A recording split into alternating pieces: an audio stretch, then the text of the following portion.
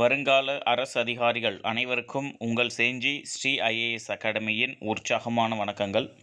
இந்த வீடியோவில் நம்ம பார்க்க போகிறது என்ன அப்படின்னு சொல்லி பார்த்தீங்கன்னா ஏப்ரல் மாதம் ஒன்பதாம் தேதி மற்றும் ஏப்ரல் மாதம் பத்தாம் தேதிக்கான நடப்பு நிகழ்வுகள் பார்க்க போகிறோம் ஸோ இந்த ஒரு வீடியோவில் இரண்டு நாட்களுக்கான நடப்பு நிகழ்வுகள் இருக்குது எனவே மாணவர்கள் இந்த வீடியோவை முழுமையாக பார்த்து குறிப்பெடுத்து வைத்துக் கொள்ளுங்கள். போட்டித் தேர்விற்கு தயாராகக்கூடிய அனைவருக்குமே நம்முடைய நடப்பு நிகழ்வுகள் அப்படிங்கிறது மிகப்பெரிய அளவில் பயனுள்ளதாக இருக்கும்.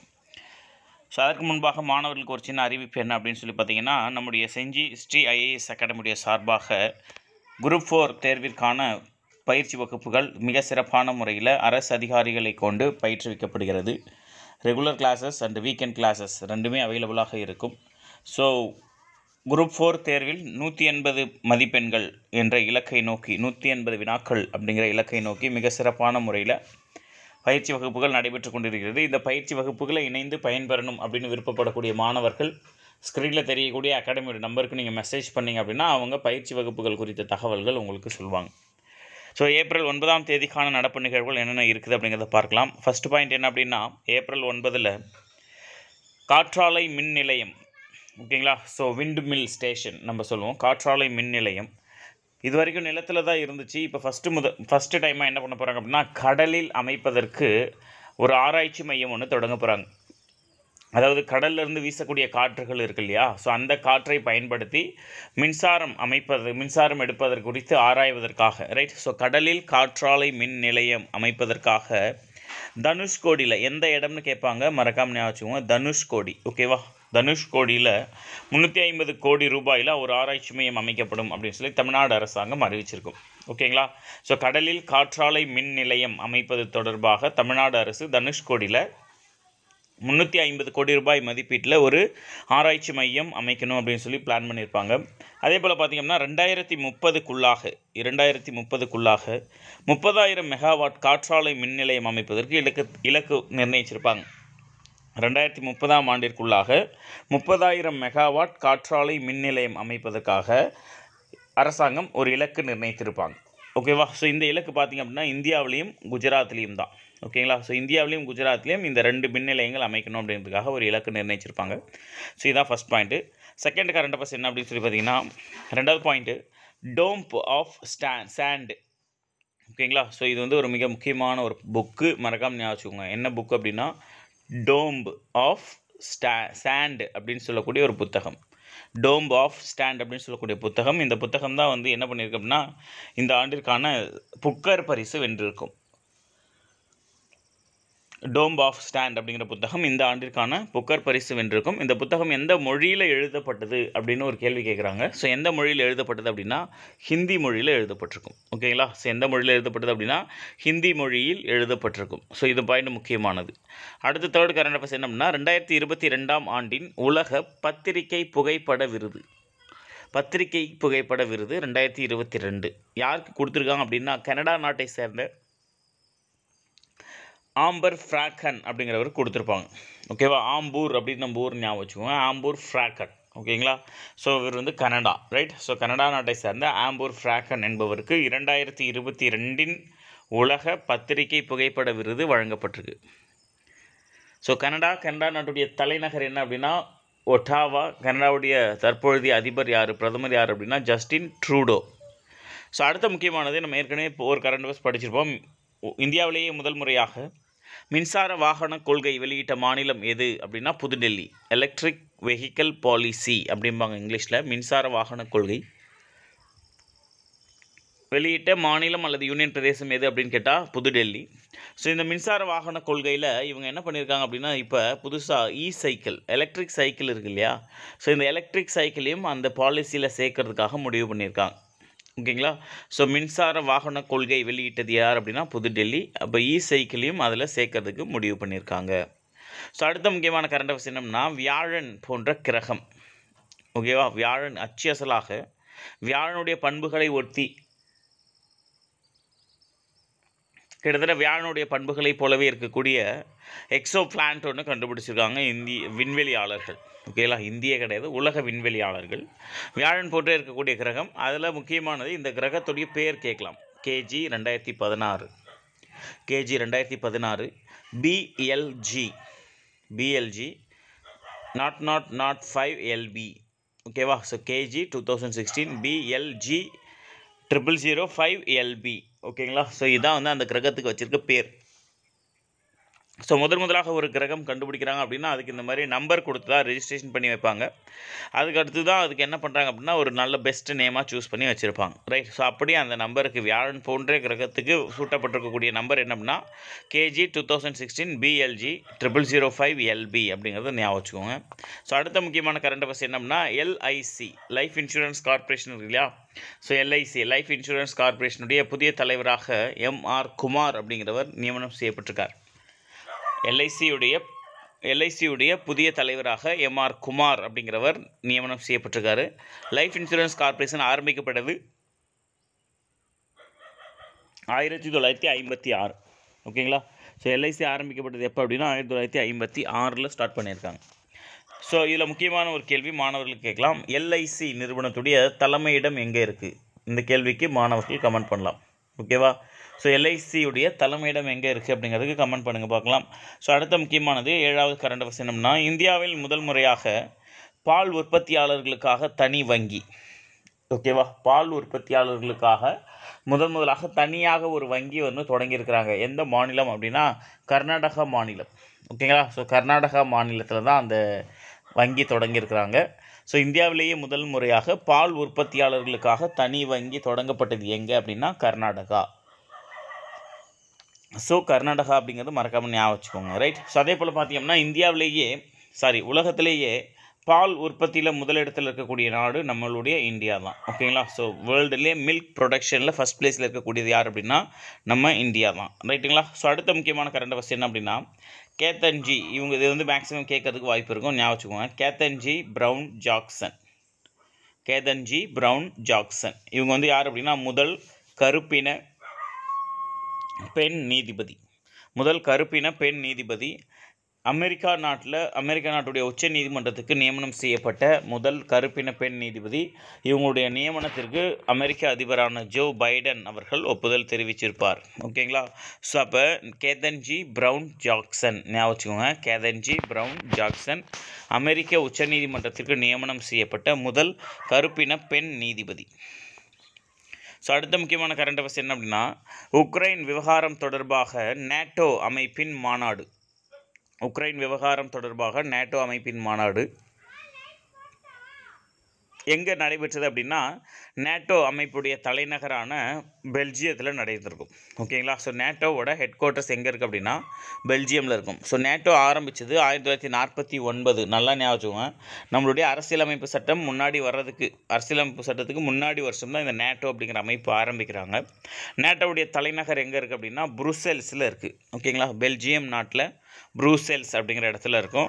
ஸோ இந்த மாநாடு நடந்த அதே வேளையில் ஜி செவன் அமைப்புடைய வெளியுறவு அமைச்சர்கள் கூட்டமும் இதில் நடத்தியிருப்பாங்க. ப்ரூசெல்ஸில் நடத்தியிருப்பாங்க. இது எல்லாமே எதோடு தொடர்புடையதுன்னா உக்ரைன் விவகாரம் தொடர்பாக பேச்சுவார்த்தை நடத்துவதற்காக. ஓகேங்களா? உக்ரைன் விவகாரம் தொடர்பாக நேட்டோ அமைப்பின் மாநாடு எங்கே நடைபெற்றது அப்படின்னா பெல்ஜியம் நாட்டில் இருக்கக்கூடிய ப்ரூசெல்ஸ் அப்படிங்கிற நகரத்தில் நடைபெற்றிருக்கும். நேட்டோ அமைப்பு ஆரம்பித்தது ஆயிரத்தி தொள்ளாயிரத்தி நாற்பத்தி ஒன்பது ஜி செவன் ஆரம்பித்தது ஆயிரத்தி தொள்ளாயிரத்தி எழுபத்தி அஞ்சு.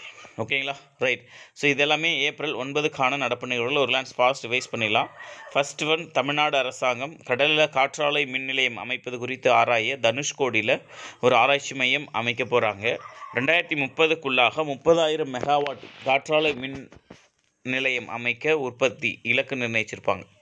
ஸோ டோம் ஆஃப் ஸ்டாண்ட் அப்படிங்கிறது சர்வதேச புக்கர் பரிசு பெற்ற இந்த ஆண்டிற்கான புக்கர் பரிசு பெற்ற மு புத்தகம். டோம் ஆஃப் ஸ்டாண்ட் அப்படிங்கிறது இந்த புத்தகம் எந்த மொழியில் எழுதப்பட்டிருக்கும்னா ஹிந்தி மொழியில் எழுதப்பட்டிருக்கும். ஸோ மாணவர்களுக்கு இந்த இடத்துல கூட ஒரு கேள்வி கேட்கலாம். அந்த டோம் ஆஃப் ஸ்டாண்ட் அப்படிங்கிற புத்தகத்துடைய ஆத்தர் யார்? ஸோ இதையுமே கூட நீங்கள் கமெண்ட் பண்ணலாம் ரைட்டா ஸோ டோம் ஆஃப் சாண்ட் அப்படிங்கிற புத்தகத்துடைய ஆத்தர் யார் அப்படிங்கிறதையும் கமெண்ட் பண்ணலாம். ஸோ இதுதான் சர்வதேச புக்கர் பரிசு வென்ற புத்தகம். இந்த புத்தகம் எந்த மொழியில் எழுதப்பட்டிருக்கும்னா ஹிந்தி மொழியில் எழுதப்பட்டிருக்கும். ரெண்டாயிரத்தி இருபத்தி ரெண்டாம் ஆண்டின் உலக பத்திரிகை புகைப்பட விருது ஆம்பர் பிராக்கன் கனடா நாட்டை சேர்ந்த ஆம்பர் பிராக்கன் என்பவருக்கு வழங்கப்பட்டிருக்கும். மின்சார வாகன கொள்கை வெளியிட்ட முதல் மாநிலம் புதுடெல்லி. இந்த வாகன கொள்கையில் மின்னணு சைக்கிள்களை சேர்க்கறதுக்கு முடிவு செஞ்சுருக்காங்க சமீபத்தில் அறிஞர்கள் வியாழன் போன்றே இருக்கக்கூடிய வியாழனுடைய பண்புகளை ஒத்திருக்கக்கூடிய ஒரு கிரகத்தை கண்டுபிடிச்சிருக்காங்க. அதுக்கு பேர் எக்ஸோ பிளானட் அப்படின்னு வச்சுட்டு KG two two thousand sixteen BLG nought nought nought five LB அப்படின்னு வச்சுருக்காங்க. LIC Life Insurance Corporation India நிறுவனத்துடைய புதிய தலைவராக எம்ஆர் குமார் அப்படிங்கிறவர் நியமனம் செய்யப்பட்டிருக்காரு. எல்ஐசி ஆரம்பிக்கப்பட்டது ஆயிரத்தி தொள்ளாயிரத்தி ஐம்பத்தி ஆறு. இந்தியாவிலேயே முதல் முறையாக பால் உற்பத்தியாளர்களுக்கென தனி வங்கி தொடங்கினது எங்கே அப்படின்னா நம்முடைய அண்டை மாநிலமான கர்நாடகா. அவங்க தான் அதை தொடங்கியிருக்காங்க. ஸோ கேத்தன்ஜி ப்ரவுன் ஜாக்சன் அப்படிங்கிறவங்க அமெரிக்காவை சேர்ந்த முதல் கருப்பின பெண் நீதிபதி அமெரிக்க உச்சநீதிமன்றத்திற்கு நியமனம் செய்யப்பட்டிருக்காங்க. உக்ரைன் விவகாரம் தொடர்பாக நேட்டோ அமைப்பு மாநாடு எங்கு நடைபெற்றது அப்படின்னு சொல்லி பார்த்தீங்கன்னா பெல்ஜியம் நாட்டில் இருக்கக்கூடிய ப்ரூசெல்ஸ். அதாவது நேட்டோவுடைய ஹெட் குவார்ட்டர்ஸும் அந்த ப்ரூசெல்ஸில் தான் இருக்கும். அந்த இடத்துல தான் நடந்துச்சு. ஸோ நேட்டோ ஆரம்பித்தது ஆயிரத்தி தொள்ளாயிரத்தி நாற்பத்தி ஒன்பது. அந்த மாநாடு நடைபெற்ற அதே வேளையில் ஜி செவன் ஓகேங்களா ஸோ ஜி செவனில் இருக்கக்கூடிய அந்த நாட்டு வெளியுறவு அமைச்சர்கள் மாநாடும் அந்த இடத்துல நடைபெற்றிருக்கும். ஓகேவா ஸோ ஜி செவன் அமைப்பில் இருக்கக்கூடிய நாடுகள் எது எது? ஈஸியாக ஞாபகம் வச்சுக்கலாம் ஓகேவா ஸோ ஜி செவனில் இருக்கக்கூடியது கேஜிஎஃப் ஓகேங்களா கேஜிஎஃப் கேன்னா கனடா அப்படின்னு ஞாபகம் வச்சுக்கோங்க. சி தான் வரும். பட் ஆனால் நம்ம ஞாபகத்துக்காக வச்சிடும் K for Canada G for Germany F for France KGF ஓகேங்களா ஸோ அதுக்கு அடுத்து IJ IJ Italy and then Japan ஓகேங்களா? ஸோ இட்டாலி ஜப்பான் ஆச்சுங்களா? நெக்ஸ்ட்டு ரெண்டு என்னென்னா US UK so KGF IJ US UK so இந்த அமைப்புகள் தான் ஜி செவன் ஜி செவன் எப்போ ஃபார்ம் ஆச்சு அப்படின்னா ஆயிரத்தி தொள்ளாயிரத்தி எழுபத்தி அஞ்சு. ஸோ கையோட ஏப்ரல் பத்தாம் தேதிக்கான நடப்பு நிகழ்வுகளும் நோட் பண்ணிக்கலாம். ஸோ ஃபஸ்ட் பாயிண்ட் என்ன அப்படின்னா வேர்ல்டு ஹோமியோபதி டே உலக ஹோமியோபதி மருந்து தினம் மருத்துவ தினம். ஓகேங்களா? ஸோ உலக ஹோமியோபதி மரு மருந்து தினம் அப்படிங்கிறது ஹோமியோபதி தினம் அப்படிங்கிறது பத்து ஏப்ரலில் கடைபிடிக்கப்படுது. ஏப்ரல் பத்தாம் தேதி கடைபிடிக்கப்படுகிறது அப்படிங்கிறது ஞாபகம் வச்சுக்கோங்க. உலக ஹோமியோபதி தினம். ஸோ இந்த ஆண்டிற்கான கருப்பொருள் ரெண்டாயிரத்தி இருபத்தி ரெண்டாம் ஆண்டிற்கான கருப்பொருள் என்ன அப்படின்னா people's choice for wellness people's choice for wellness அப்படிங்கிறது. ஸோ இதை ஹோமியோபதியின் தந்தை என்று அழைக்கப்படுபவர் யார் அப்படின்னா சாமுவேல் ஹானிமன். ஓகேவா இது நம்ம பள்ளி புத்தகத்திலே கூட இருக்கும். ஞாபகம் வச்சுக்கோங்க. ஹோமியோபதியின் தந்தை என்று அழைக்கப்படுபவர் யார் அப்படின்னா சாமுவேல் ஹானிமன். ஸோ அடுத்த முக்கியமான கரண்ட் அஃபர்ஸ் என்ன அப்படின்னா உதகை மா உதகை மாவட்டத்தில் சாரி உதகையில் ஊட்டியில் பழங்குடியினர் அருங்காட்சியகம் ஒன்று திறந்திருக்காங்க. ஓகேங்களா ஸோ ஊட்டியில் பழங்குடியினர் அருங்காட்சியகம் ஒன்று திறந்துருக்குறாங்க. ஸோ இது எங்கே இருக்குது அப்படின்னா நீலகிரி மாவட்டத்தில் இருக்குதுங்க. ஓகேங்களா நீலகிரி மாவட்டத்தில் இருக்குது ஸோ இதில் முக்கியமான ஒரு சில விஷயங்கள் சொல்லியிருப்பாங்க டேட்டாஸ் அதுவும் சமீபகமாக வரக்கூடிய டிஎன்பிசி தேர்வுகளில் பழங்குடியினர் பற்றிய கேள்விகள் நிச்சயமாக இடம்பெற்றுக்கிட்டே வருது. ஓகேவா பழங்குடியினர் பற்றின கேள்விகள் இடம்பெற்று கொண்டே வருகிறது. அதனால் அந்த பழங்குடியினர் பற்றின டீட்டெயில்ஸை மறக்காமல் படித்து வச்சுக்கோங்க. ஸோ இந்த நீலகிரி மாவட்டத்தில் பார்த்தீங்கன்னா முப்பத்தி ஆறு வகையான பழங்குடியினர் இருக்கிறாங்க. எத்தனை வகை அப்படின்னா சாரி நீலகிரியில் கிடையாதுங்க. ஒட்டுமொத்தமாக தமிழ்நாட்டில். ஒட்டுமொத்தமாக தமிழ்நாட்டில் முப்பத்தி ஆறு வகையான பழங்குடியினர் இருக்கிறாங்க சார் தமிழ்நாட்டில் முப்பத்தி ஆறு வகையான பழங்குடியினர் இருக்கிறாங்க. அதில் நீலகிரியில் மட்டும் பார்த்திங்க அப்படின்னா ஆறு வகை. நீலகிரியில் மட்டுமே ஆறு வகை. தோடர் குறும்பர் கோத்தர் காட்டுநாயக்கர் இருளர் பணியர் தோடர் குறும்பர் கோத்தர் காட்டுநாயக்கர் இருளர் பணியர் ஸோ இந்த ஆறு வகையான பழங்குடியினர் நீலகிரியில் வசித்துட்டு வராங்க. இப்போ இதில் வேறு யாராச்சும் ஒருத்தர் கொடுத்துட்டு ஓகேவா? வேறு யாராச்சும் ஒருத்தர் கொடுத்துட்டு எக்ஸுங்கிற ஒருத்தர் கொடுத்துட்டு இந்த ஆறு பேரில் யார் வரலை நீலகிரியில் யார் வசிக்கலை அப்படின்னு சொல்லி ஒரு கேள்வி கேட்பாங்க. ஏற்கனவே ஒரு கேள்வி இந்த மாதிரி கேட்டிருக்காங்க. ஸோ அதனால் மாணவர்கள் மறக்காமல் நோட் பண்ணிக்கோங்க. ஓகேவா? ஸோ தோடா குறும்பர் கோத்தர் காட்டுநாயக்கர் இருளர் பணியர் இவங்க தான் வந்து இந்த ஆறு நீலகிரி வாழில் பழங்குடியினர். ஸோ அடுத்த முக்கியமான கரண்ட் அஃபேர்ஸ் என்ன அப்படின்னா சென்னையில் செஸ் ஒலிம்பியாட் போட்டி ஜூலை இருபத்தெட்டுலேருந்து ஆகஸ்ட் பத்தாம் தேதி நடைபெறும் அப்படிங்கிறத நம்ம படிச்சிருப்போம். செஸ் ஒலிம்பியாட் ரெண்டாயிரத்தி இருபத்தி ரெண்டு எங்கே நடைபெறுகிறது அப்படின்னு சொல்லி பார்த்தீங்கன்னா ரஷ்யாவில் நடக்கிறதா இருக்கும். ரஷ்யா உக்ரைன் மீது போர் தொடுத்ததுனால அங்கேருந்து மாற்றி எங்கே வைக்கிறாங்க அப்படின்னா நம்முடைய சென்னையில் வைக்கிறாங்க. ஓகேவா ஸோ சர்வதேச செஸ் ஒலிம்பியாட் போட்டி ரெண்டாயிரத்தி இருபத்தி ரெண்டு எங்கு நடைபெறுகிறது அப்படின்னா சென்னையில் நடைபெறுகிறது. அந்த செஸ் ஒலிம்பியாட் போட்டியுடைய சிறப்பு அதிகாரியாக செஸ் சிறப்பு அதிகாரியாக யார் நியமனம் செய்யப்பட்டிருக்கார் அப்படின்னா தாரேஸ் அகமது ஐஏஎஸ் அவர்கள் நியமனம் செய்யப்பட்டிருக்கார். ஓகேவா? ஸோ செஸ் ஒலிம்பியாட் போட்டியினுடைய சிறப்பு அதிகாரியாக தாரேஸ் அகமது ஐஏஎஸ் அப்படிங்கிறவர் நியமனம் செய்யப்பட்டிருக்காரு. ஸோ போட்டிக்கான ஏற்பாடுகள் போட்டிக்கான வீரர்களுடைய வரவேற்பு வீரர்கள் தங்கிறது எல்லா விவகாரங்களும் இனி ஸோ இவர் கவனித்துக் கொள்வார். சிறப்பு அதிகாரியாக தாரேஸ் அகமது அப்படிங்கிறவர் நியமனம் செய்யப்பட்டிருக்கார். ஸோ இந்த போட்டி எங்கே நடைபெற இருக்கிறது அப்படின்னு சொல்லி பார்த்தீங்கன்னா ஜூலை மாதம் மாமல்லபுரம் மகாபலிபுரம் இருக்கு இல்லையா? ஸோ அந்த மாமல்லபுரத்தில் தான் வந்து இந்த போட்டி நடைபெறுவதாக இருக்குது ஓகேங்களா so Darez Ahamed IS IAS அப்படிங்கிறவர் யார் அப்படின்னா சர்வதேச செஸ் ஒலிம்பியாட் போட்டிக்கான சிறப்பு அழைப்பாளர். சாரி சிறப்பு அதிகாரி. அடுத்த முக்கியமான கரண்ட் அவர்ஸ் இது மிக மிக முக்கியமானது. ஏன்னா தமிழ்நாட்டில் சுகாதாரம்னு ஒரு தலைப்பு வருது இல்லையா? ஸோ அந்த பாயிண்ட் ரொம்ப முக்கியமானது. சுகாதார கட்டமைப்பு. ஓகேங்களா? சுகாதார கட்டமைப்பு. ஒட்டுமொத்தமாக இந்தியாவில் மாநிலங்களுக்கு இடையிலான சுகாதார கட்டமைப்பு அப்படிங்கிற இடத்துல தமிழ்நாடு இரண்டாவது இடத்துல இருக்குது ஓகேங்களா? ஸோ சுகாதார கட்டமைப்பில் தமிழ்நாடு எத்தனாவது இடத்துல இருக்குது அப்படின்னா இரண்டாவது இடத்துல இருக்குது ஸோ எப்படி இந்த முற்று முன்னேற்றம் சாத்தியமாச்சு அப்படின்னு சொல்லி பார்த்தீங்கன்னா பிரதமருடைய மருத்துவ காப்பீட்டு திட்டம். ஓகேங்களா? பிரதமருடைய மருத்துவ காப்பீடு திட்டம் இரண்டாயிரத்தி எட்டு முதல் எட் எட்டில் அறிமுகப்படுத்தப்பட்டது. அப்படி வச்சுக்கலாம். பிரதமருடைய மருத்துவ காப்பீடு திட்டம் ரெண்டாயிரத்தி எட்டில் அறிமுகப்படுத்தப்பட்டது. இரண்டாயிரத்தி எட்டிலிருந்து தற்பொழுது வரை இந்த திட்டம் எந்த விதமான தொய்வும் இல்லாமல் மிக சிறப்பான முறையில் செயல்பட்டு கொண்டு இருக்கிறது ஸோ அதனால் தமிழ்நாடு சுகாதாரத்தை பொறுத்த வரைக்கும் இந்திய அளவில் எத்தனாவது இடத்துல இருக்குது அப்படின்னா இரண்டாவது இடத்துல இருக்குங்க.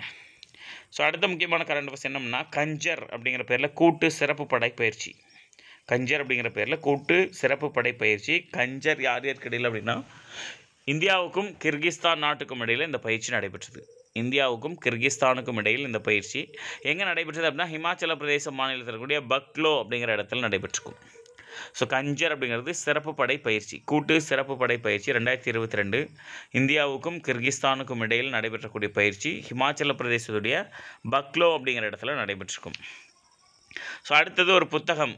இந்த புத்தகத்தை மறக்காமல் ஞாபகம் not just a night watchman not just a night watchman my innings with BCCI ஓகேவா so not just a night watchman my innings with BCCI அப்படிங்கிற புத்தகம் யாரும் எழுதியிருக்கு அப்படின்னா பிசிசிஐயுடைய முன்னாள் செயலாளராக சேர்மனாக இருந்திருக்கக்கூடிய வினோத் ராய் அப்படிங்கிறவர் எழுதியிருப்பார். ஓகேங்களா ஸோ வினோத் ராய் அவருடைய அனுபவங்களை எழுதியிருப்பார். ஸோ அடுத்த முக்கியமான கரண்ட் அவர்ஸ் இதையும் கேட்பாங்க ஞாபகம் அடுத்த முக்கியமான கரண்ட் அவர்ஸ் என்ன அப்படின்னா கதம் அப்படிங்கிற பேரில். கதம் அப்படிங்கிற பேரில் இந்தியாவுடைய முதல் செயற்கை முழங்கால். ஓகேங்களா? ஸோ பாலியஸ்டர் மூலமாக செய்யப்பட்ட முதல் செயற்கை முழங்கால். உருவாக்கி சாதனை படைத்தது யார் அப்படின்னா ஐஐடி சென்னை. ஓகேங்களா? ஸோ ஐஐடி சென்னை தான் வந்து இந்த செயற்கை முழங்காலை உருவாக்கியிருக்காங்க. இது வந்து நூற்றி அறுபது டிகிரி வரைக்கும் வளையும் அப்படின்னு சொல்லி சொல்லியிருக்காங்க. ஓகேங்களா? ஸோ நூற்றி அறுபது டிகிரி வரைக்கும் வளையும் அப்படின்னு சொல்லி சொல்லியிருப்பாங்க. ஸோ இந்தியாவின் முதல் செயற்கை முழங்கால். அந்த முழங்காலுக்கு பேர் தான் கதம் அப்படிங்கிறது. ஓகேங்களா? ஸோ அப்போ கதம் அப்படின்னா அது தொடர்பாக இருக்கக்கூடிய விஷயங்கள் எல்லாம் படிச்சுக்கோங்க. இந்தியாவின் முதல் செயற்கை முழங்காலுக்கு பேர் கதம். யார் உருவாக்குனா? ஐஐடி சென்னை ஐஐடி சென்னை எப்போ ஆரம்பிக்கிறாங்க? ஆயிரத்தி தொள்ளாயிரத்தி ஐம்பத்தி ஒன்பது. ஓகேவா இதெல்லாம் நோட் பண்ணி வச்சுக்கோங்க. ஸோ அடுத்த முக்கியமானது இந்த முழங்காலை யார் அறிமுகப்படுத்துகிற இந்த கதம் அப்படிங்கிற முழங்காலை யார் அமை அறிமுகப்படுத்துகிற அப்படின்னா தமிழ்நாடு மாற்றுத்திறனாளிகள் நல ஆணையர் ஜானி டாம் வர்கீஸ். இவர் தான் அறிமுகப்படுத்துகிறார் தமிழ்நாடு மாற்றுத்திறனாளிகள் நல ஆணையர் ஜானி டாம் வர்கீஸ் அவர் தான் வந்து அறிமுகப்படுத்துகிறார் ஸோ அடுத்த முக்கியமான கரண்ட் அஃபேர்ஸ் என்ன அப்படின்னா முத்ரா திட்டம். முத்ரான்னா என்ன விரிவாக்கம்? அதையே கேட்பாங்க. மறக்காமல் ஞாபகம் கீழே இருக்கு பாருங்கள் micro units development micro units development and refinancing agency refinance agency micro units development and refinance agency அப்படிங்கிறது தான் முத்ராவுக்கான விரிவாக்கம். இந்த முத்ரா திட்டம் எப்போ தொடங்குறாங்க அப்படின்னா எட்டு ஏப்ரல் ரெண்டாயிரத்தி பதினைந்தில் தொடங்குறாங்க. ஓகேங்களா? So eight April two thousand ஃபிஃப்டீனில் தொடங்குறாங்க. இந்த திட்டம் ஏழு ஆண்டுகளை வெற்றிகரமாக நிறைவடைந்திருக்கு. இந்த ஏழு ஆண்டுகளில் கிட்டத்தட்ட முப்பத்தி ஐயாயிரம் பேருக்கும் மேலே தொழில் வாய்ப்பு பெற்று தொழில் தொழிலாளராக உருவாகியிருப்பாங்க. ஸோ மொத்தம் இந்த முத்ரா திட்டத்தின் கீழாக ஏ மூன்று பிரிவுகளில் கடன் வழங்கப்படுகிறது. மூன்று பிரிவுகளில் கடன் வழங்கப்படுகிறது. ஃபர்ஸ்ட் ஒன்று என்ன அப்படின்னா சிசு பேரே அதுதான். சிசு அப்படிங்கிறது. ஸோ இந்த மெத்தடில் ஐம்பதாயிரம் ரூபாய் வரைக்கும் கடன் கொடுப்பாங்க. ஸோ அடுத்து கிஷோர் அப்படிங்கிறது ஐந்து லட்சம் வரையிலும் கடன் கொடுக்குறாங்க. அதுக்கடுத்து தருண் அப்படிங்கிறது பத்து லட்சம் வரையிலும் கடன் கொடுக்குறாங்க. சிசு கிஷோர் தருண். ஓகேவா கிஷு சிசு கிஷோர் தருண். கிஷோ சிசு அப்படின்னா ஐம்பதாயிரம் வரை. கிஷோர் அப்படின்னா ஐந்து லட்சம் வரை. தருண் அப்படின்னா பத்து லட்சம் வரை. ஸோ முத்ரா திட்டம் தொடங்கப்பட்டது எட்டு ஏப்ரல் ரெண்டாயிரத்தி பதினைந்து. தற்பொழுது இந்த திட்டம் வெற்றிகரமாக ஏழு ஆண்டுகளை நிறைவு செய்திருக்கும். ஸோ அடுத்த முக்கியமான கரண்ட் அஃபேர்ஸ் என்னம்னா உலக ஸ்குவாஷ் இரட்டையர் சாம்பியன்ஷிப் வேர்ல்டு ஸ்குவாஷ் ரிட்டையர் சாம்பியன்ஷிப் எங்கே நடைபெற்றது அப்படின்னு சொல்லி பார்த்தீங்கன்னா ஸ்காட்லாந்து நாட்டில் இருக்கக்கூடிய கிளாஸ்கோ அப்படிங்கிற நகரத்தில் நடைபெற்றிருக்கும். ஸோ கிளாஸ்கோ அப்படிங்கிற நகரத்தான் இந்த கிளாஸ்கோ அப்படிங்கிற இடத்துல தான் போன வருஷம் கோப் டுவெண்ட்டி சிக்ஸ் மாநாடு நடந்துச்சு இல்லையா? ஸோ கோப் டுவெண்ட்டி சிக்ஸ் மாநாடு எங்கே நடந்தது அப்படின்னா கிளாஸ்கோ கிளாஸ்கோ எங்கே இருக்குது அப்படின்னா ஸ்காட்லாந்து நாட்டில் இருக்குங்க. ஓகேவா ஸோ இந்த போட்டியை பொறுத்த வரைக்கும் இந்தியா ஒட்டுமொத்தமாக சாம்பியன் பட்டம் என்று முதல் முறையாக சாதனை படைத்திருக்கும். ஸோ உலக ஸ்குவாஷ் இரட்டையர் சாம்பியன்ஷிப் போட்டியில் இந்தியா ஒட்டுமொத்தமாக இரண்டாம் இடம் பிடித்து சாரி ஒட்டுமொத்தமாக முதலிடம் பிடித்து சாம்பியன் பட்டம் வென்றிருக்கும். ஸோ இதில் பார்த்தீங்கன்னா பெண்கள் பிரிவில் தீபிகா பள்ளிக்கல் அப்படிங்கிறவங்களும் ஜோஷ்னா சின்னப்பா இவங்க ரெண்டு பேரும் முதலிடம் பிடித்திருப்பாங்க. தீபிகா பள்ளிக்கல் மற்றும் ஜோஷ்னா சின்னப்பா ஆகியோர் முதலிடம் பிடித்திருக்கிறாங்க அப்படிங்கிறத ஞாபகம் வச்சுக்கோங்க. ஸோ இது வரைக்கும் பார்த்தது எல்லாமே ஏப்ரல் மாதம் பத்தாம் தேதிக்கான நடப்பு நிகழ்வுகள். ஸோ ஒரு ஃபாஸ்ட் வைஸ் பண்ணுறேன் நோட் பண்ணிக்கோங்க. ஃபஸ்ட்டு பாயிண்ட் என்னன்னா உலக ஹோமியோபதி தினம். ஹோமியோபதி மருத்துவத்தை கண்டுபிடித்தவர் சாமுவேல் ஹானிமன். இந்த ஆண்டிற்கான ஹோமியோ தினத்திற்கான கருப்பொருள் என்ன அப்படின்னா people's choice for wellness so உதகையில் பழங்குடியினர் அருங்காட்சியகம் ஒன்று திறந்துருக்குறாங்க. ஸோ இந்த பழங்குடியினர் அருங்காட்சியகம் உதகை மா உதகையில் இருக்கக்கூடிய நீலகிரி மாவட்டத்துக்குள்ளே இருக்குது ஸோ தமிழ்நாட்டில் மொத்தம் முப்பத்தி ஆறு வகையான பழங்குடியினர் வாழுறாங்க. நீலகிரியில் மட்டுமே கிட்டத்தட்ட ஒரு ஆறு வகையான பழங்குடியினர் வாழுறாங்க. ஸோ அந்த ஆறு வகையான பழங்குடியினர் யார் அப்படின்னா தோடர் குறும்பர் கோத்தர் காட்டுநாயக்கர் இருளர் பணியர் அப்படிங்கிறது. ஸோ அடுத்த முக்கியமான கரண்ட் அஃபேர்ஸ் என்னம்னா சென்னையில் நடைபெறக்கூடிய சர்வதேச செஸ் ஒலிம்பியாட் போட்டிக்கு சிறப்பு அதிகாரியாக யார் நியமனம் செஞ்சுருக்காங்கன்னா தாரேஸ் அகமது அப்படிங்கிறவர் நியமனம் செய்யப்பட்டிருக்காரு. ஸோ அதுக்கடுத்து இந்திய அளவிலான சுகாதார கட்டமைப்பில் தமிழ்நாடு இரண்டாவது இடத்துல இருக்குது அப்படிங்கிறது ஒரு முக்கியமான கரண்ட் அஃபேர்ஸ். பிஎம் மருத்துவ காப்பீடு திட்டம் தொடங்கப்பட்ட ஆண்டு ரெண்டாயிரத்தி எட்டு. கஞ்சர் அப்படிங்கிறது கூட்டு சிறப்பு படை பயிற்சி இந்தியாவுக்கும் கஜகஸ்தான் சாரி கிர்கிஸ்தான் கிர்கிஸ்தான் நாட்டிற்கும் இடையில். ஸோ இந்த பயிற்சி எங்கே நடைபெற்றது அப்படின்னா ஹிமாச்சல பிரதேச மாநிலத்தில் கூடிய பக்லோ அப்படிங்கிற இடத்துல நடைபெற்றிருக்கும். Not just night watchman my innings with BCCI அப்படிங்கிறது வினோத் ராய் அப்படிங்கிறவர் எழுதியிருக்கக்கூடிய புத்தகம். இந்தியாவின் முதல் செயற்கை முழங்கால் கதம் அப்படிங்கிறது அதனுடைய பேர். அதை யார் உருவாக்கியிருக்கா அப்படின்னா ஐஐடி சென்னை உருவாக்கியிருக்காங்க. ஸோ தமிழ்நாட்டுடைய மாற்றுத்திறனாளிகள் நல ஆணையர் ஜானிடாம் வர்கீஸ் தான் அந்த செயற்கை காலை என்ன பண்ணியிருப்பாருன்னா அறிமுகப்படுத்தி வச்சிருப்பார். ஸோ முத்ரா திட்டம் இரண்டாயிரத்தி பதினைந்து ஏப்ரல் எட்டாம் தேதி தொடங்கப்பட்ட இந்த திட்டம் வெற்றிகரமாக இரண்டாயிரத்தி இருபத்தி ரெண்டாம் ஆண்டு ஏழு ஆண்டுகளை நிறைவு செய்திருக்கும்.